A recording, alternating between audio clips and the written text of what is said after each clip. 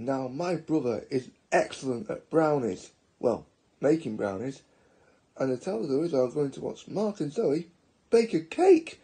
This I've got to see. What flavour it's going to be. Is it going to be chocolate, strawberry, or even a classic Victoria sandwich cake? Let's find out.